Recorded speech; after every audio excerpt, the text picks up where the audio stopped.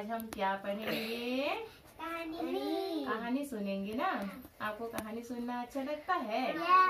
तो चलो आज हम एक कहानी सुनेंगे।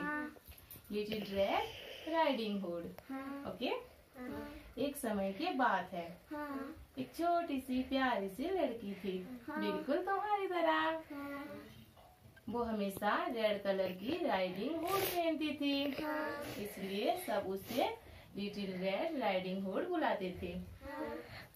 एक दिन उसकी माँ उसे बुलाई, बेटी, तुम्हारी नानी माँ बीमार है ना? तुम उनके लिए ताज़ा कुकीज और जड़ी बूटी ले जाओगे? लिटिल रेड बोली हाँ मम्मी, मैं जाऊँगी। हमेशा की तरह वो अपनी रेड राइडिंग हुड पहनकर अपनी नानी के घर चल पड़ी।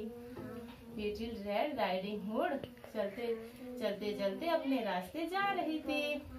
तभी उसे झाड़ियों से एक आवाज़ आई।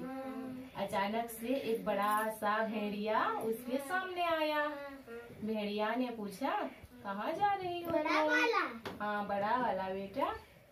तो भेड़िया ने बोला कहाँ जा रही हो तुम? बेटी रेड राइडिंग हुड बोली मैं अपनी नानी माँ के घर जा रही हूँ। बीमार है ना तो उनके लिए ताज़ा कुकीज और जड़ी बूटी ले जा रही हूँ। बच्चों तुम अपने नानी के घर जाते हो?